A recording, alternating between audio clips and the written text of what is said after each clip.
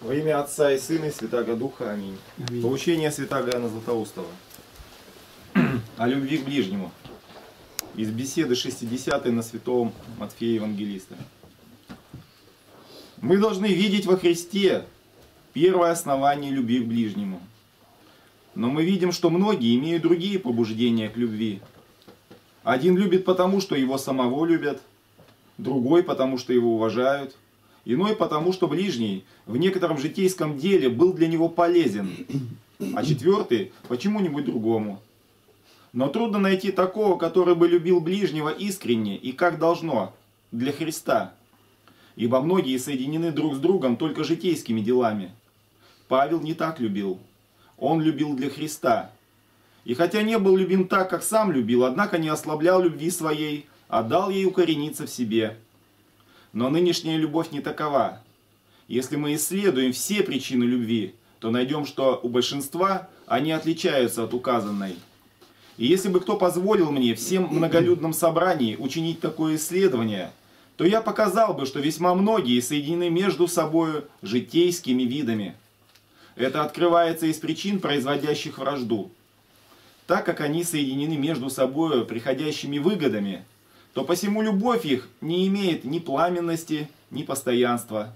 Напротив, каждая обида или потеря денег, или зависть, или любовь к тщеславию, или другое, что ему подобное, легко разрывают их любовь, ибо она не имеет духовного корня. Если бы был такой корень, то ничто житейское не могло бы разрушить духовного.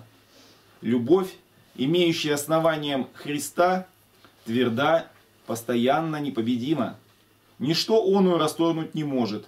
Ни клеветы, ни опасности, ни смерть, ни другое что-либо подобное сему. Кто таким образом любит, хотя бы претерпевал тысячу поражений за сию любовь, не оставит ее. Ибо кто любит за то, что его любят, то случись с ним неприятность, прервет любовь свою. А кто соединен той любовью, никогда не оставит оной.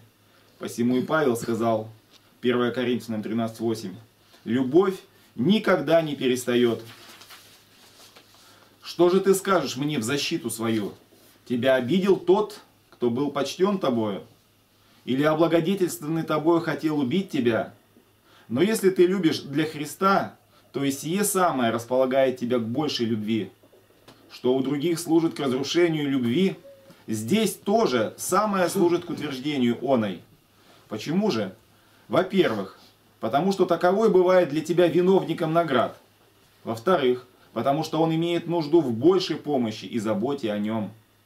Посему, кто так любит, тот не разбирает ни рода, ни отчества, ни богатства, ни взаимной любви к себе, ни другого чего-либо подобного.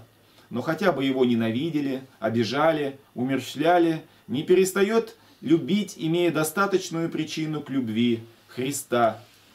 На него неуклонно взирая, он пребывает тверд. Ибо Христос таким же образом любил врагов, неблагодарных, обидчиков, поносителей, ненавистников, не хотевших и смотреть на него, предпочитавших ему дерево и камни. Любил их высочайшую любовью, которой нельзя найти подобной. Ибо говорит, нет больше той любви, как если кто положит душу свою за друзей своих. Иоанна 15:13. Смотри, как он заботился о них, которые распяли его, и которые столько оказали неистовство над ним. Так говорит он о них отцу. Отче, прости им, ибо не знают, что делают. Лука 23:34. И после всего послал еще к ним учеников. Итак, поревнуем и мы сей любви, и будем взирать на нее, дабы, сделавшись подражателями Христу, удостоиться и здешних, и будущих благ, благодатью и человеколюбием Господа нашего Иисуса Христа, которому слава и держава во веки веков. Аминь. Аминь.